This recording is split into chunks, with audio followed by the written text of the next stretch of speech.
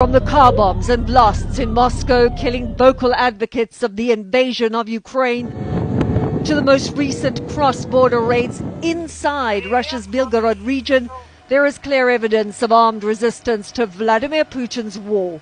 The anti Kremlin fighters behind these attacks are a loose collection of disparate groups with divergent political views and ideologies, but united by one common goal Какова наша цель? Ну, если... To ensure the collapse of the Russian regime as quickly as possible, this masked anti-Putin gunman told us.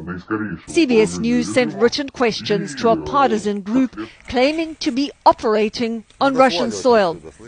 The fighters, heavily disguised, say they derailed a train in Bryansk earlier this month, their most successful action to date.